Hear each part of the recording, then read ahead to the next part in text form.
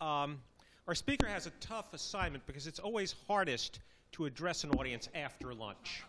You know what I mean? But I'm sure you'll I'm sure you'll all be with him. Speaker of the audience. I didn't get that. It's it's tough for the speaker because after lunch it's hard on the audience after you've had a full lunch to stay awake. But um, as we all know who do public speaking, but I'm sure our next speaker is up to the task and we'll all be fascinated. Uh, to introduce Emmanuel Goldsmith uh, for me is a big treat because he currently teaches at the same university where I was an undergraduate and in the same department.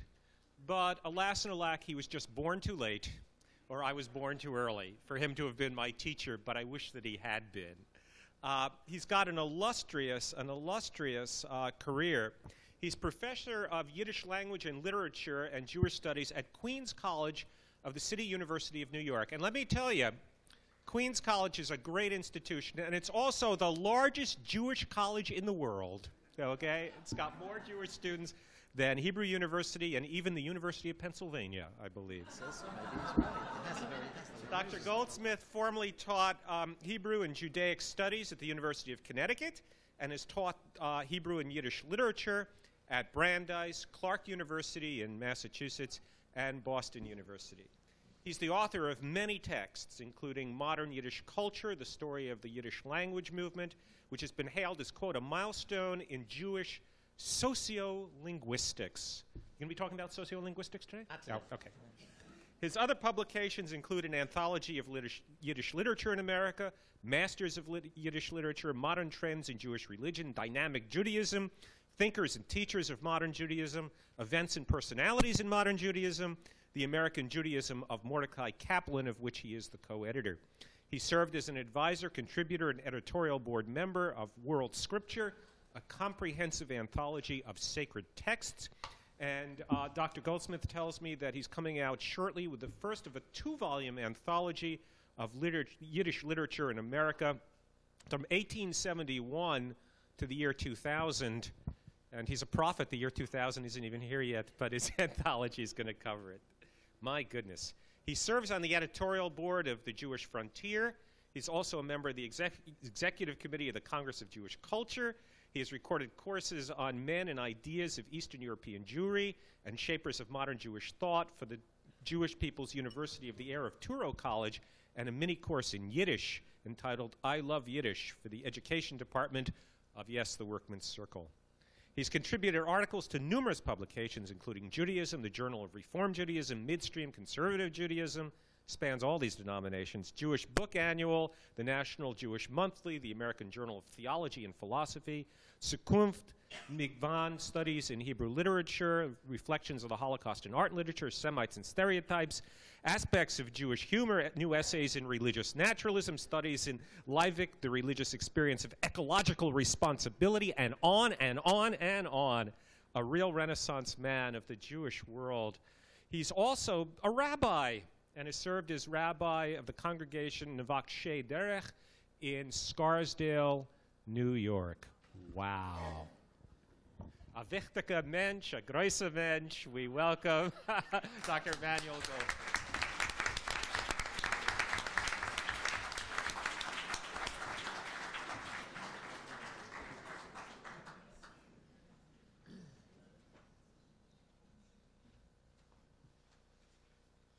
Rabotai, Rabbi sei und Freund, liebe und teure Jiden. Lovely. You all know the story of the Magid, who traveled from shtetl to shtetl. And wherever he went, before uh, when he began to speak, he said, Eidere Hebon reden will ich sagen kapor of the members of the Knesset start like this. They do? And that is the situation in which I find myself. now I know where it I comes I want to thank Rabbi Wine for inviting me. I am thrilled and honored to be here with these distinguished members of the panel and to be in this wonderful institution. I have admired Rabbi Wine from afar for many years. Es ist mir ein größer koved, dort zu stehen. Größer koved. er koved. They should do what they did at my bar mitzvah. They gave me a Coca-Cola box to stand on.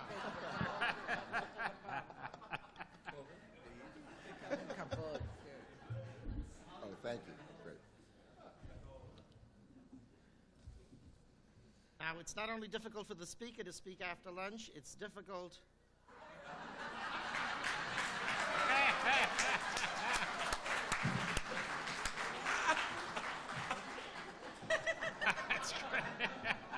Real market. Hey, there you go. Now we have a real market. You got the lower one? I couldn't understand why Joe called a grosser mensch. Now, He has a lower one, Manny. He has a lower one. Oh. He likes it. He likes it.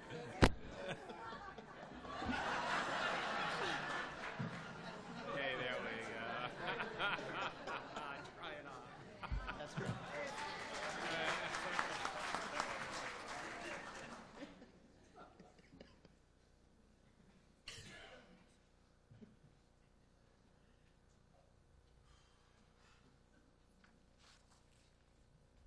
I feel for those of you who just ate lunch and are going to fall asleep during the talk. Therefore, I want to give you the essence of what I'm about to say.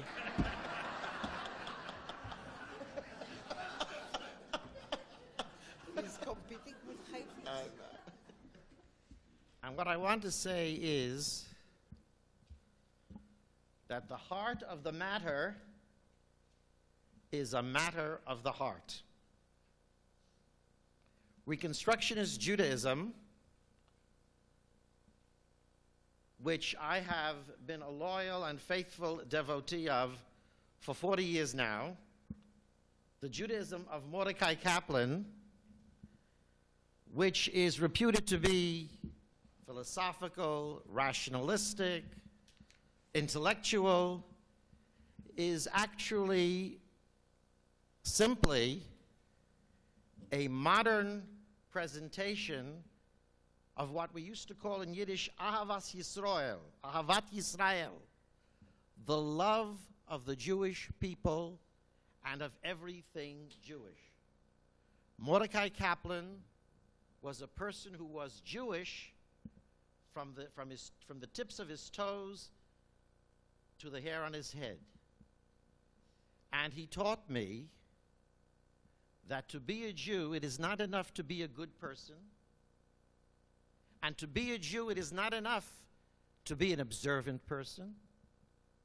But th- to be a Jew means to be passionately in love and committed and involved with everything Jewish. Nothing Jewish is alien to me. And that is why I'm going to teach Mr. Jacobs something about humanistic religion, even as I teach Rabbi Friedman Abyssal Mamaloshin.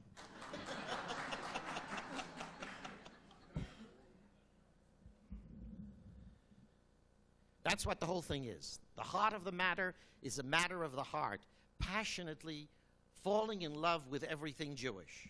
Some of them, some of us are blessed. We got that love with our mother's milk. you know, love can only be caught, it cannot be taught. I cannot intellectually tell anybody why to be Jewish, why to struggle for the survival of the Jewish people. I'm in love with everything Jewish. And to me, when I am, I am a true follower and devotee of my beloved teacher, rabbi and friend Mordecai Menachem Kaplan, who was born in 1881 and died in 1983. 1881 to 1983. His is the most seminal voice in the evolution of American Judaism in the 20th century. His influence is felt in every aspect of Jewish life communal, cultural, educational, and religious. His thought has affected the institutional and ideological configurations of all groups within American Jewry Reform, Orthodox, Conservative, Zionist, and Secularist. While the Orthodox shun his writings like the plague, and the conservatives remain overtly hostile to his radical theology. Much of what they do and say is in response to challenges posed in his essays and addresses.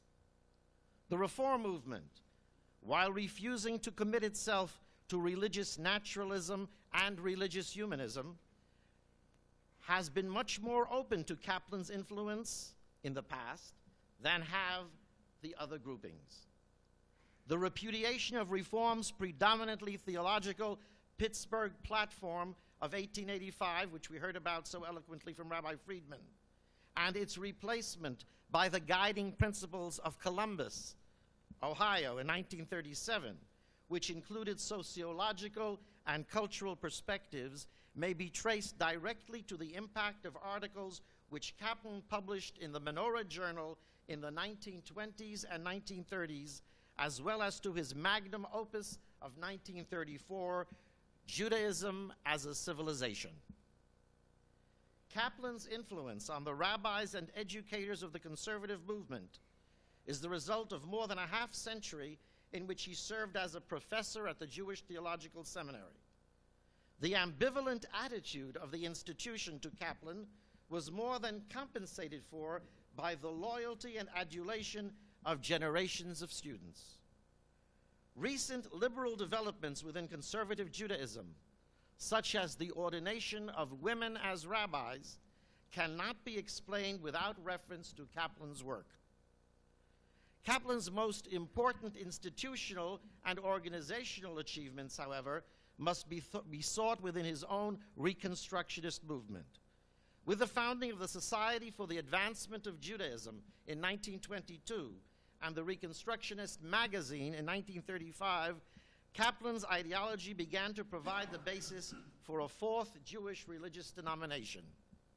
Kaplan's fears of further fragmenting American Jewry actually hampered the growth of Reconstructionist Judaism until the 1960s, when Kaplan finally realized that his hopes of eventually dominating the conservative movement were illusory.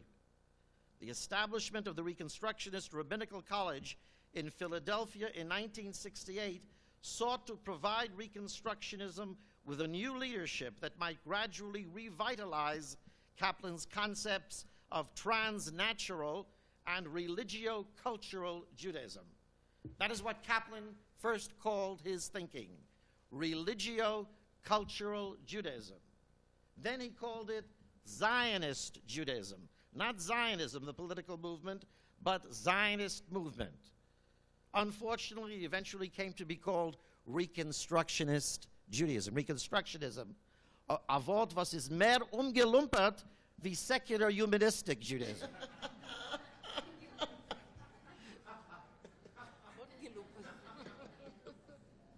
While expressly formulated with the American environment in mind, Kaplan's ideology has enormous implications for Judaism throughout the world, and its influence is slowly penetrating other parts of the Jewish diaspora as well as Israel.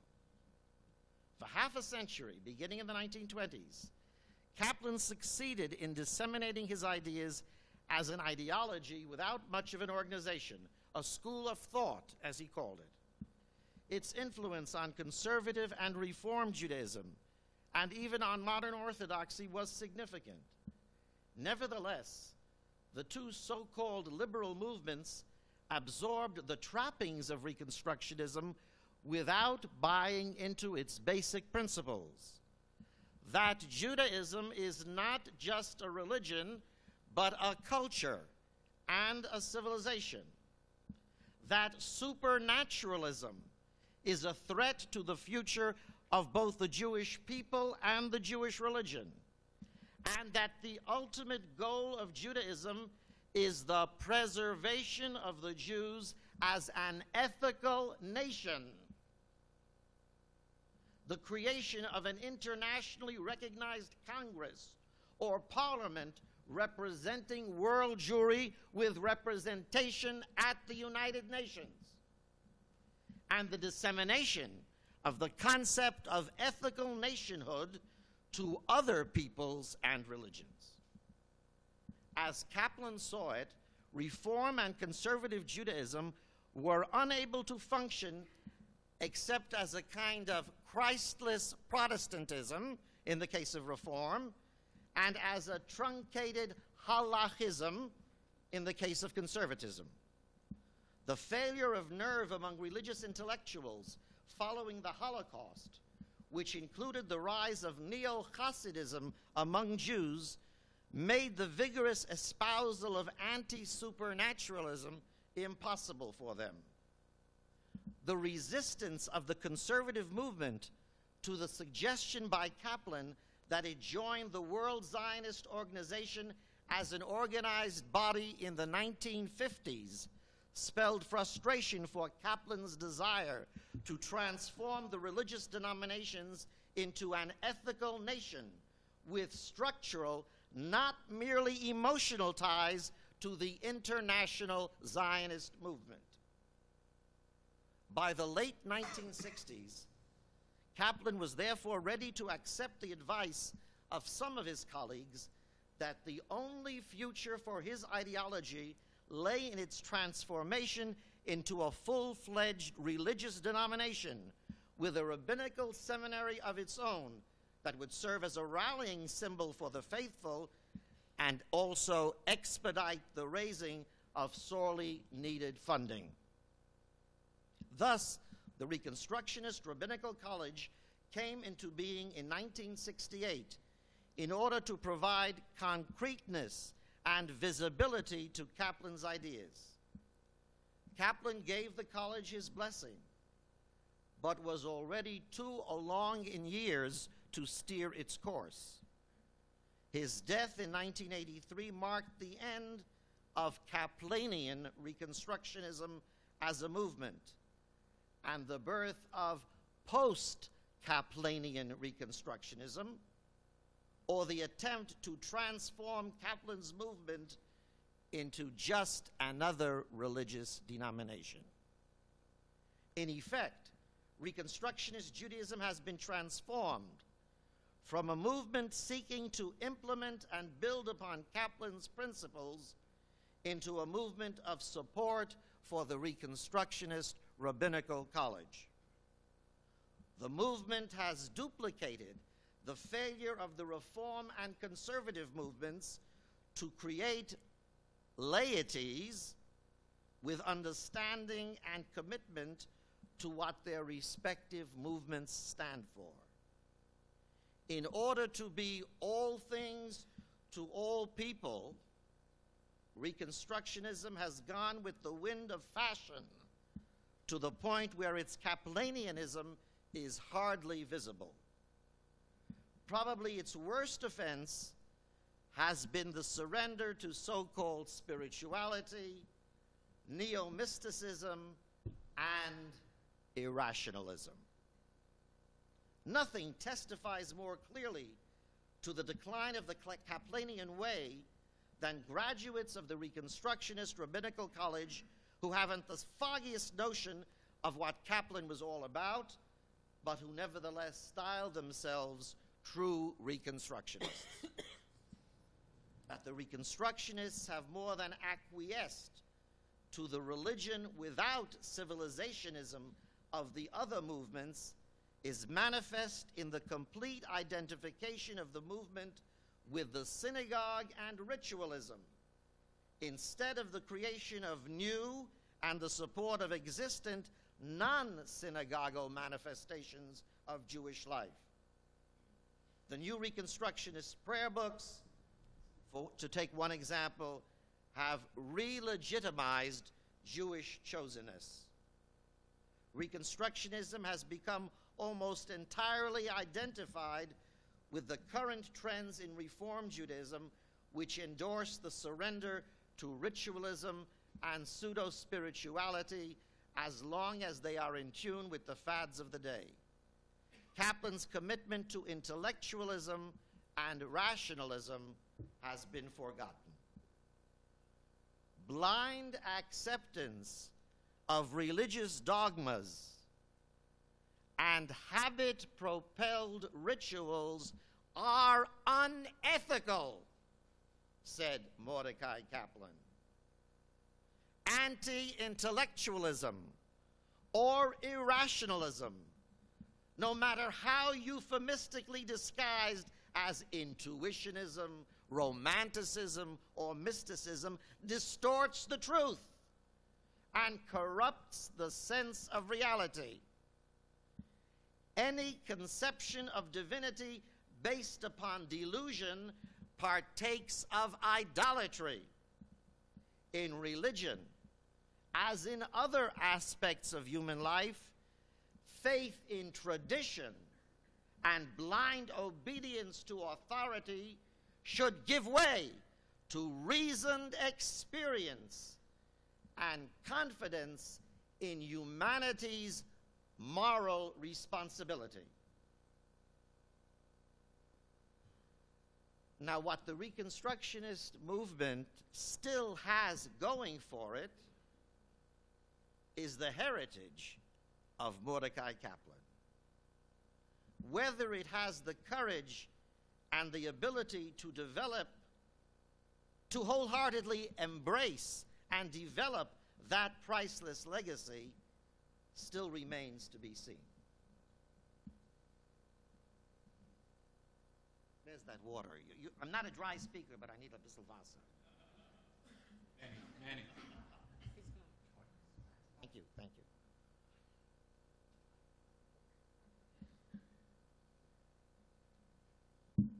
Mordecai Kaplan, his middle name was Menachem, by the way. Mordecai Menachem Kaplan was the most consistent practitioner of religious modernism among Jews in the 20th century. Religious modernism may be distinguished from traditionalism in that its point of departure in religious life is the contemporary scene and present day religious experience rather than the dictates of authority and the experience of past generations. The religious modernist is an eclectic, selecting out of the treasures of his forebears only those which he sees as relevant and significant for his community's life today. And Rabbi Kaplan always taught we must shun nostalgia like a swamp.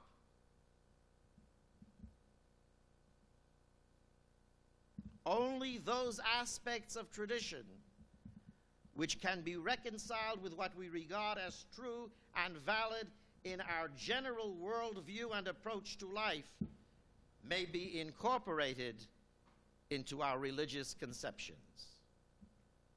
For Mordecai Kaplan, it is, I say is, not was.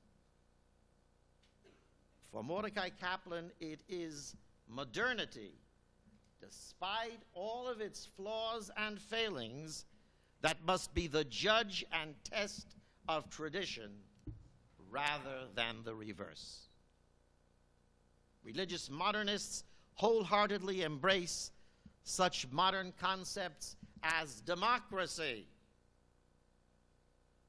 I say this to my ultra Orthodox mishpach in Israel, and they say to me, Wo steht democracy geschrieben in der Teure? Who said democracy? And the answer is, es steht nicht geschrieben, nur man darf es reinstellen. You have to put it, it's not written, but you have to put it in. Translate. It's I know, I understand. He has to put them. No, no. I, I know you. You want me to I say- translate it? No, das kenne ich Ladino. This is how you read it. It's very nice. Not important. Let's go on. Democracy, evolution, evolution, divine immanence, the idea that God must be found in the world, in human life, not beyond it.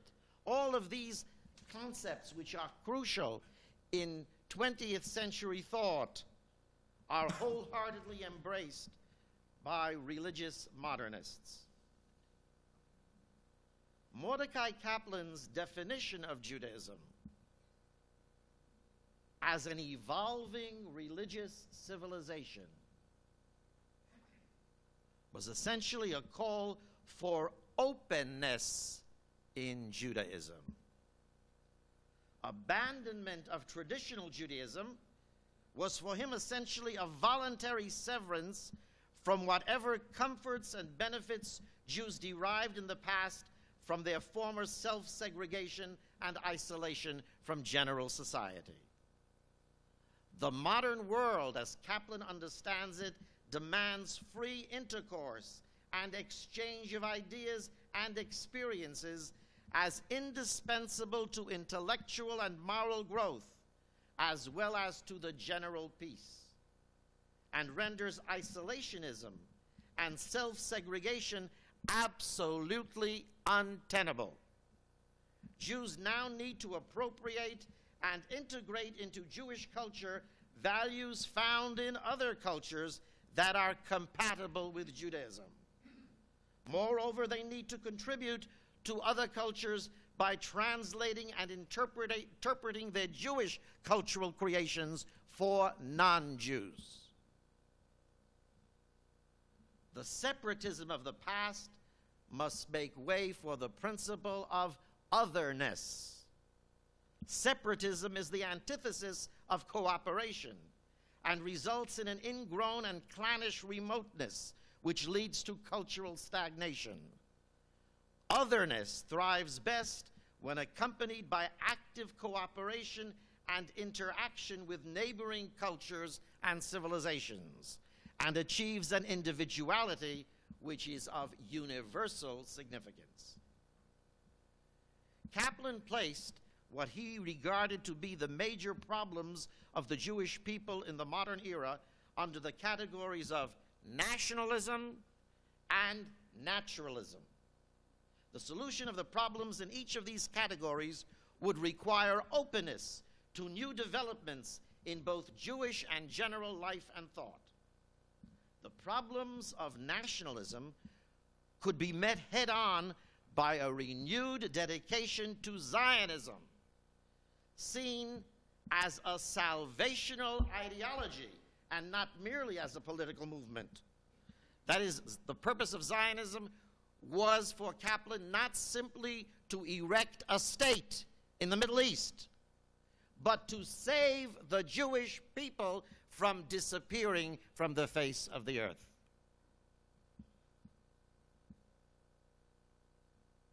The challenge of naturalism or the scientific worldview could likewise be met by the formulation and unabashed endorsement of naturalism and its this worldly interpretation of salvation as providing new approaches to religious experience and religious truth. And since a few of us have not been to college in a few years, naturalism simply means that all we can ever know about is the universe that we know about, the world, not something that is beyond space and time. For Kaplan, modern Zionism, both as an ideology and as, as a movement, represents the quintessential expression of Judaism in modern times. Zionism equals Judaism. Judaism equals Zionism. But not Zionism viewed narrowly and not Judaism viewed dogmatically. He views Zionism as the only movement capable of salvaging the collective identity of the Jewish people from the melting pot of modern nationalism. Zionism has been vindicated principally because the Jewish people has been given a new lease on life with the establishment of the State of Israel.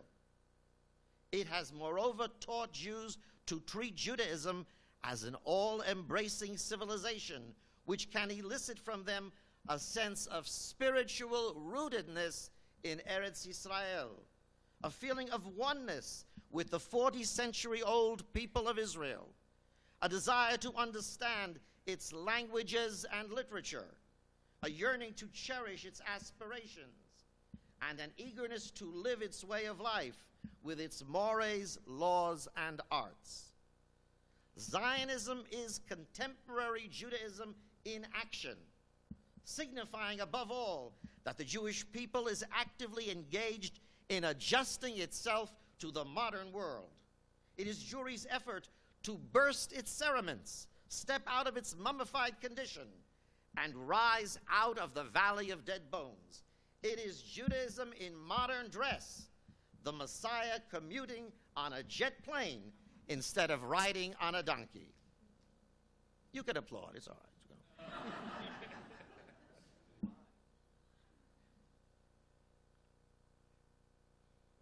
Now, the primary function of Zionism today, and what I mean by that is Zionism has succeeded, but it's not over yet. Zionism's function today is to stimulate Jews in the diaspora who possess a sense of adventure and are proficient in one or another field of endeavor to go to Israel and contribute to its upbuilding. But it must also motivate those who remain in the diaspora to perpetuate their Jewish heritage and foster their Jewish group individuality. That Zionism has thus far miserably failed to do. Jews of the diaspora should be encouraged to resist the forces which tend to break up minority groups. In order to accomplish these objectives, contemporary Zionism must repudiate its traditional shlilat hagalut, negation of the diaspora, and encourage Jewish survival and spiritual and cultural creativity wherever Jews live. Herzl was right. We are a people, he said at the first Zionist Congress. We are one people.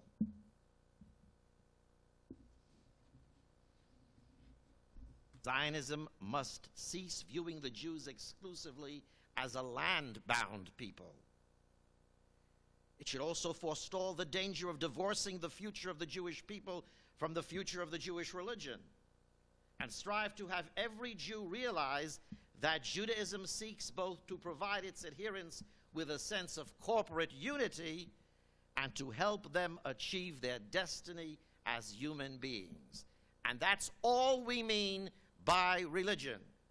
The organized attempt to help people, you and I, achieve our destiny as human beings, to be all that we can and should be. By changing the priorities of classical Zionism, this new Zionism, as Kaplan called it, makes the reconstitution and reorganization of world Jewry its primary goal, and the security and development of the State of Israel the major means to that end. Until now, the goal of world Jewry has been to establish and make Israel secure.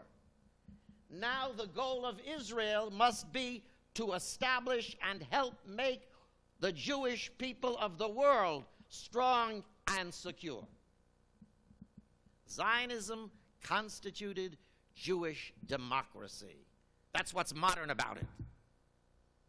Democracy in action, insofar as it embraced the following principles. One, the reinterpretation of the messianic ideal from that of passive waiting for a supernatural miracle to the exertion of initiative to throw off the yoke of oppression.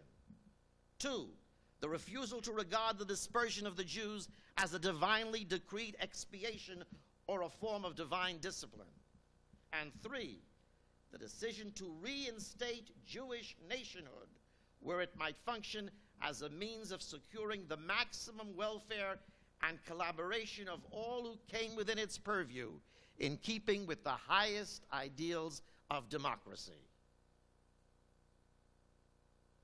And that is the only reason that we have a right to fight ultra orthodoxy. We don't fight their right to live as they wish, but we fight their desire to destroy the democracy which alone can save the Jewish people from extinction. Zionism must therefore be viewed as both a liberation movement and as a salvational ideology, provided that salvation be interpreted in a this worldly, because that's the only world we know about, humanistic manner. Kaplan called himself a religious humanist.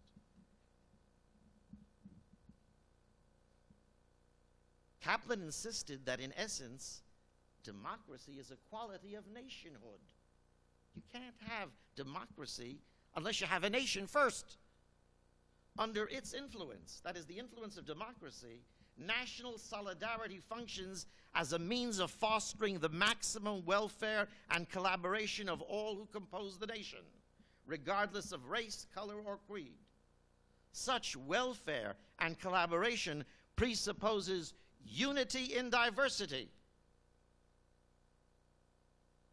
and freedom from oppression and exploitation.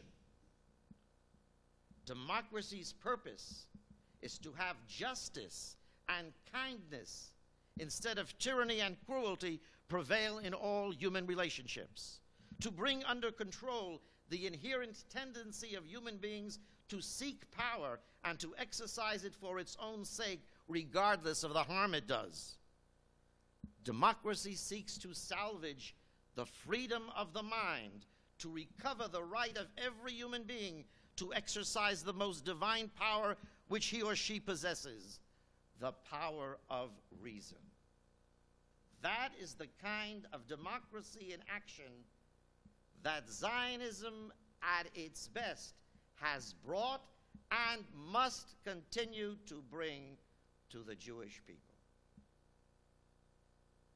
Kaplan wrote that at the heart of modern nationalism are the revolt against the pessimism of traditional religion and the faith in humanity's will and capacity to transcend its subhuman tendencies.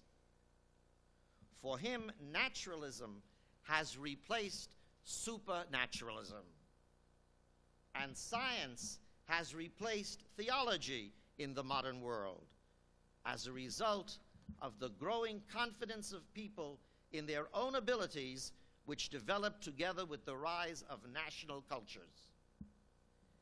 As it was necessary in ancient times, and I quote, to break the bonds of religion with belief in God as miracle worker who at will suspends the laws of nature.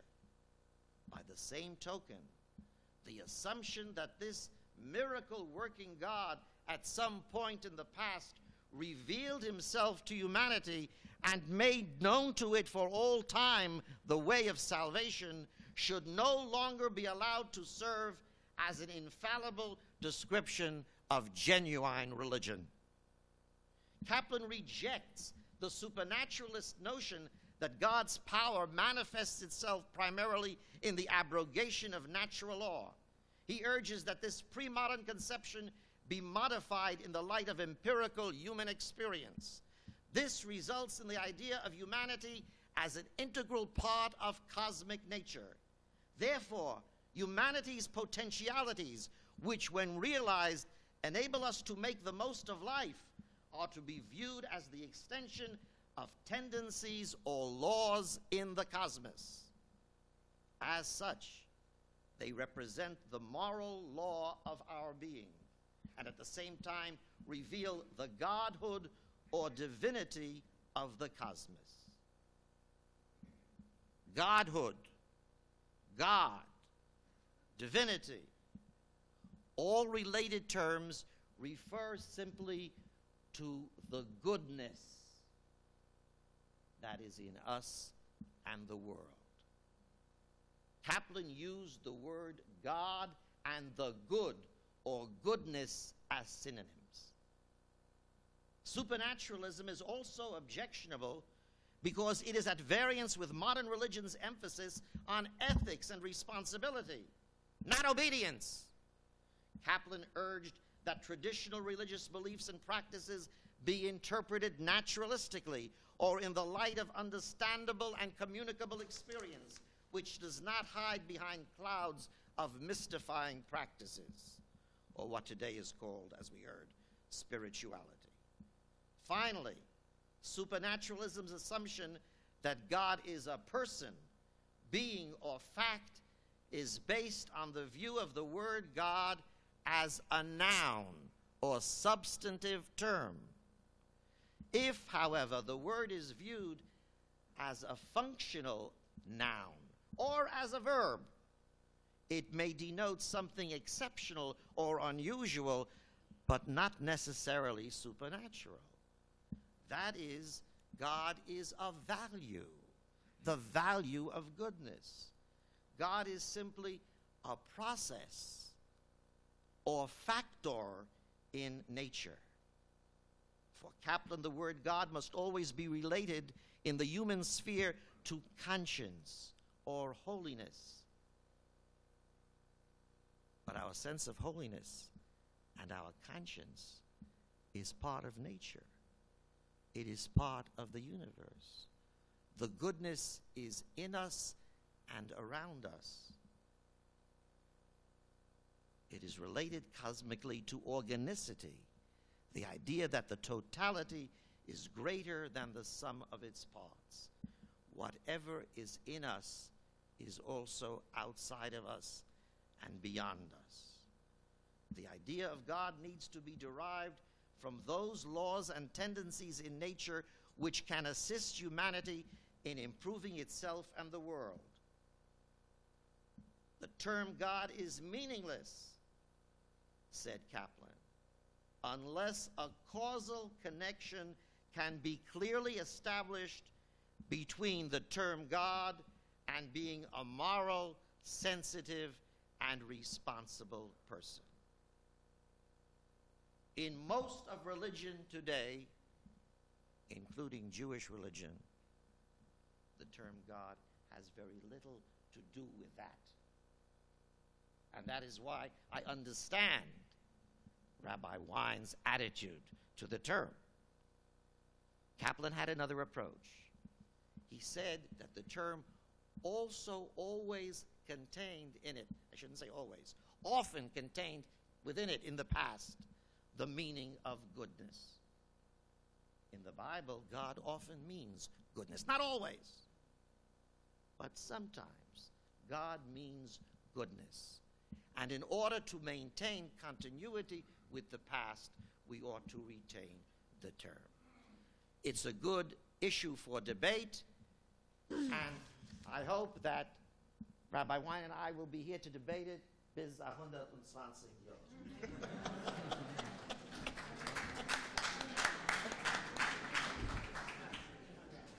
Naturalism's advantage over supernaturalism.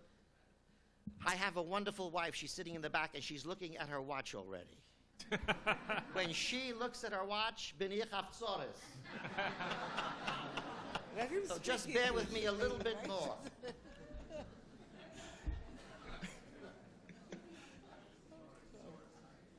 Taurus, right, yes.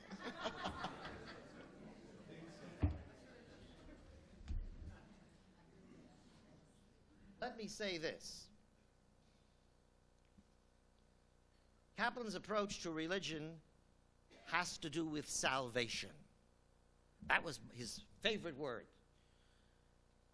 Many students at the seminary in my day used to say it's a goyish word, salvation. It's used only in Christianity. Kaplan would respond, Do you say Havdalah every week? When we raise the Havdalah cup and we light the Havdalah candle, we say, Hine El Yeshuati, God is my help, my salvation. It is repeated there over and over and over. Actually, in the Tanakh, in our Jewish Bible, God is referred to as the God of salvation, Yeshua, 273 times. Kaplan counted them and I checked. 273 times. Whatever helps us to be what we can be, what we should be, what we know at our best we ought to be, is God. I didn't expect to have that much applause here.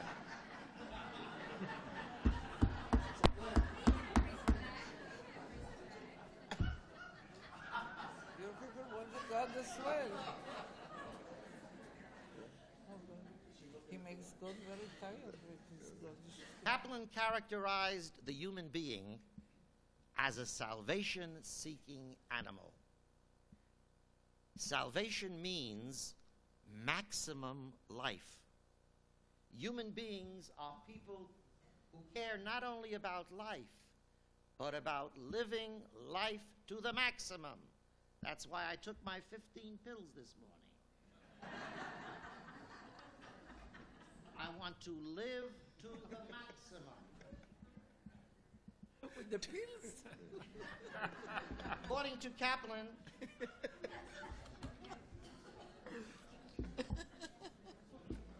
Shulamit, I also have a treadmill at home. According to Kaplan, being important to someone, being needed by someone, that is salvation. That is living life to the maximum. The person who is not needed and who doesn't need others is not alive, even if you see him walk the streets. Salvation means to a person or a people being rescued from drowning in a sea of futility and meaninglessness. Salvation is tantamount to continuous growth and progressive approximation to the ideal of perfection. Salvation is durable happiness. And God is the power or process that makes for such salvation. Kaplan's innovative definition of Judaism, hope you'll remember that, as an evolving religious civilization, underscores his understanding of the centrality of peoplehood in the Jewish religion, as well as his naturalistic interpretation of the origin and hmm. nature of Judaism. That Judaism is a religious civilization implies that the survival of the Jewish people, in the diaspora at least, depends on its making religion a matter of vital interest. And I would like to say I think it's true of Israel also, because unless there is a dynamic, new, modern, this worldly approach to religion in Israel, the ultra Orthodox will have the day. And that will, chas v'shalom, be the end of Israel as a dem- democratic state. Jewish religion has to provide a world outlook and conception of God that it can, can encourage living in a spirit of moral responsibility, honesty, loyalty or love, and creativity. You see, those things moral responsibility, honesty, loyalty, love, and creativity pervade the universe. They pervade the universe.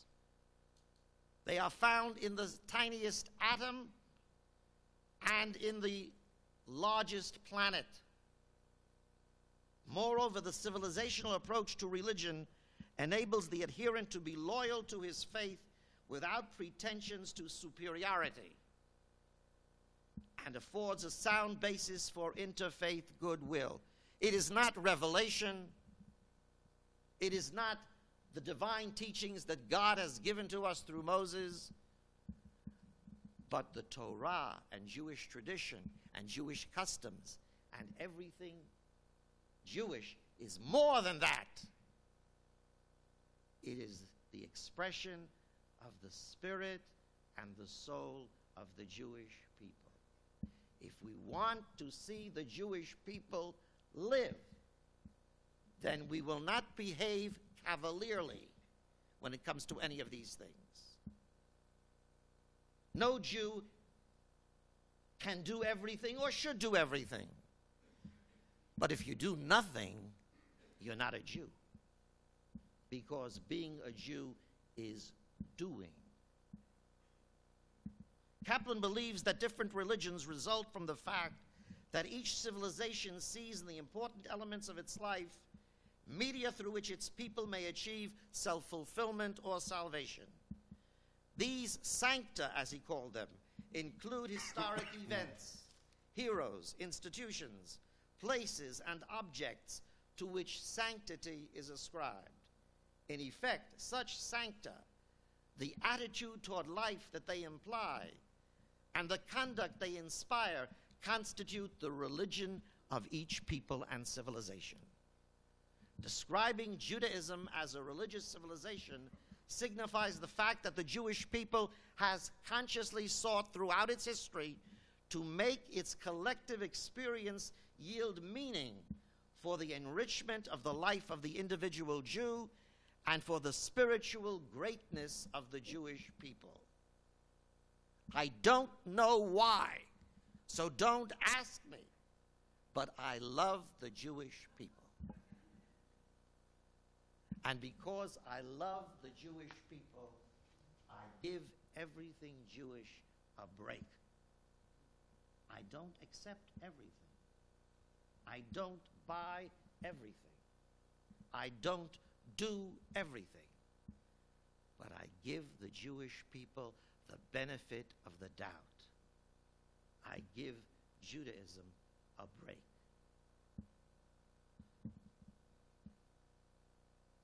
The civilizational definition also makes possible the acceptance by Judaism of the principles already mentioned of uni- unity in diversity and continuity in change. It is, moreover, a reminder of the fact that Judaism consists of much that cannot be pigeonholed into the category of religion, and that in modern times, quote, paradoxical as it may sound, the spiritual regeneration of the Jewish people demands that religion cease to be its sole preoccupation. In the sense, everybody sleeping now, wake up. In the sense that existence precedes essence. You study existentialism? Existence precedes essence, and life takes precedence over thought. Judaism exists for the sake of the Jewish people rather than the Jewish people existing for the sake of Judaism.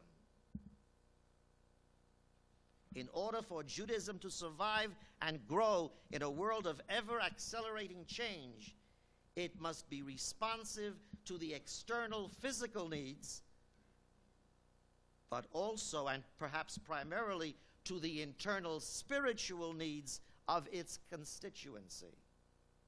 Thus, Mordecai Kaplan's passion for openness,